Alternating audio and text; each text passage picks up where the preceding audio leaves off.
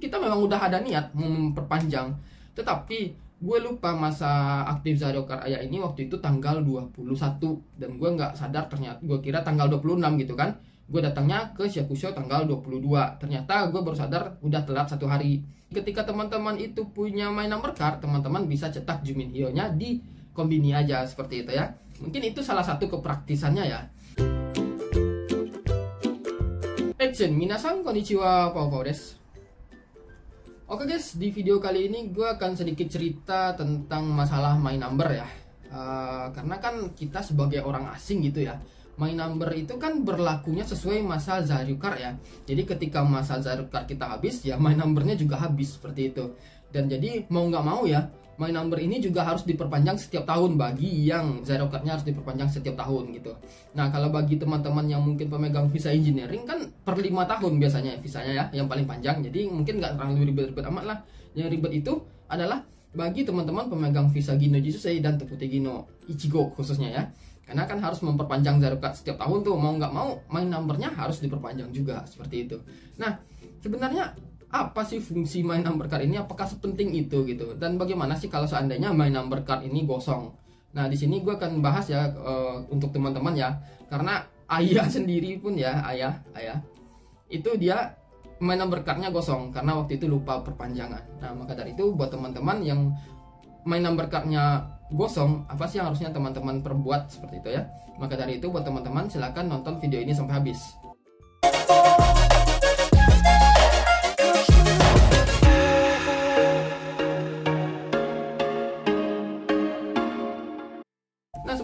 fungsi my number card ini sama aja ya fungsinya itu seperti suci card ya ada atau kertas yang warna hijau itu yang kecil yang uh, itu yang pengganti pengganti sebelum my number card. Itu fungsinya sama karena banggonya aja sama nomor dari suci card sama banggo di my number card sama fungsinya itu sebagai untuk perhitungan pajak ya pem, pem, untuk memudahkannya seperti itu.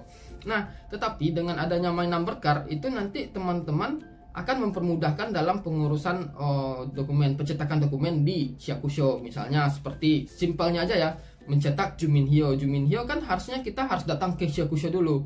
Nanti minta uh, nomor antri terus uh, tulis uh, form apa form tujuannya apa. Misalnya minta Jumin Hyo berapa lembar terus nanti tunggu nomor antri baru pergi ke loket seperti itu ya. Nanti baru dikasih Jumin Hyo. Tetapi ketika teman-teman itu punya my number card teman-teman bisa cetak Jumin Hyo nya di kombini aja seperti itu ya. Mungkin itu salah satu kepraktisannya ya. Uh, terus juga kalau dari sistem sekarang kan main number card itu mau dihubungkan ke Hokeng ya tapi itu masih lama sih sebenarnya. Nah tapi selama gue pakai main number card uh, mungkin udah jalan 2 tahun kali ya itu fungsi-fungsi tersebut nggak pernah kepake gitu. Jadi cuma pajangan dalam dompet aja. Uh, kalau misalnya ini kalau misalnya mau ke Syakusho kalau misalnya mau ngurus-ngurus apa uh, itu juga nggak pakai main number card seperti itu kan yang diminta Zario card seperti itu. Jadi cuma pajangan doang menu-menuhin dompet fungsinya nggak kepake gitu. Nah terus bagaimana sih kalau seandainya Zar, uh, main number card teman-teman mati gitu? Karena ter terlambat perpanjangan. Dan gue sendiri ya dari pengalaman gue waktu mau rencana uh, mau memperpanjang main number card ayah itu kita memang udah ada niat mau memperpanjang. Tetapi gue lupa masa aktif Zario Karaya ini waktu itu tanggal 21 dan gue nggak sadar ternyata gue kira tanggal 26 gitu kan. Gue datangnya ke Syakusho tanggal 22 ternyata gue baru sadar udah telat satu hari. Terus gue tanya dong ke pihak uh, orang Syakusho nya informasinya. Ah gimana dong? Kan Karaya udah mati nih. Uh, my number cardnya udah mati nih. Uh, karena gue lupa uh, gue bilang gitu kan. Gue lupa nih datang kemarin. Gue juga nggak tahu masa aktifnya ya caranya itu satu-satunya adalah bikin baru lagi katanya gitu. Jadi kita ulang lagi ya prosedurnya dari awal ya seperti kita bikin my number card dari awal. Nanti setelah itu bayar 1000 yen, setelah bayar baru dapat my number card yang baru seperti itu. Gue kira kan awalnya ternyata gue kira awalnya itu cuma diurus doang gitu kan dengan kartu yang sama nanti diurus gini gini gini gitu terus selesai seperti itu ternyata enggak teman-teman ya ternyata pengurusannya itu dimulai lagi dari awal. Teman-teman itu masukin data lagi masukin foto lagi. Pokoknya seperti semula dari awal. Nanti ditunggu lagi hagakinya dari uh, Syakusho atau Puyakusho. Setelah hagakinya datang baru dijemput lagi nih main nomor card seperti itu. Diurus lagi dari awal. Nah jadi kan itu ribet ya menurut gue ya.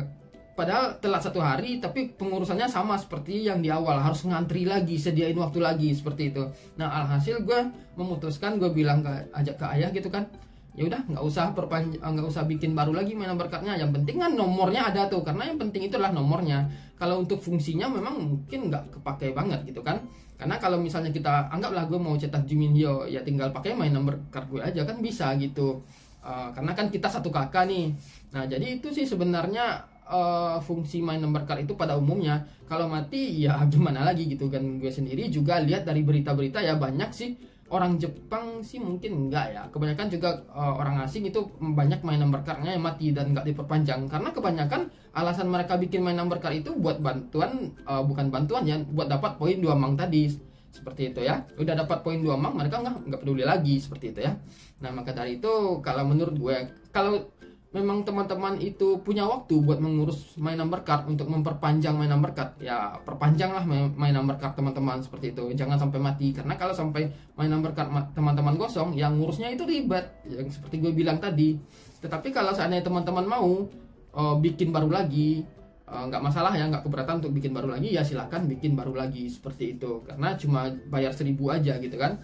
Kalau gue sendiri mungkin belum ya tapi next mungkin akan bikin lagi ya main number card ayah yang baru karena siapa tahu nanti perlu nih butuh. Tapi mungkin masih belum karena belum ada waktu ya dan masih belum ada uh, ya ruki nih untuk ngurus ulang mungkin nanti aja gue urus seperti itu. Nah jadi lebih kurang seperti itu ya tindakan yang mungkin bisa teman-teman lakukan kalau seandainya main number card teman teman mati. Yaitu adalah urus dari awal bayar seribu tunggu hagaki antri dapat number card baru lagi seperti itu ya Nah ini lebih kurang seperti itu. Kalau seandainya teman-teman masih punya pertanyaan, silahkan aja tulis di komen. Gue bakal jawab sebisa mungkin dan sampai ketemu di video berikutnya. Cut.